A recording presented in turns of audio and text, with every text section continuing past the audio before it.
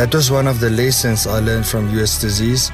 It is sometimes important to be still and look inward and who and what you really are.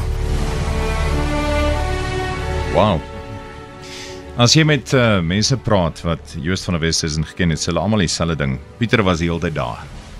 Nou as 'n een ou is wat nou die storie kan vertel, is dit jy.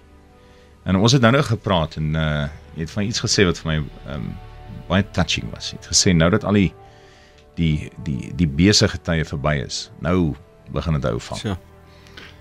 Ja, dis waar. Nou, ek wil net eers sê dat ek was nie alleen wat Joos ondersteun het nie. Natuurlik het hy Johan Visser, Mike gehad, al sy keers wat wat ek moet maar oorsien het. Ek moet hulle daai krediet ook gee almal wat na Joos gekyk het en ons as familie gehelp het. Ehm um, ons reik daar's so baie mense van sy vriende. Maar um, ja, na die ehm um, Joos se afsterwe was dit so besig geweest daai week wat die memorial gereël moes word, die die ehm um, die kerk en skielik kom die regering na alles gereël is en sê hulle neem doen dit 'n staatsbegrafnis wat nog uh, net iets wonderlik was.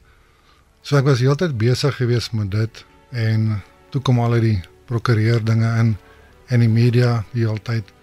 En ehm um, tussendeur het ek nog my boek geskryf wat 'n baie emosionele proses was.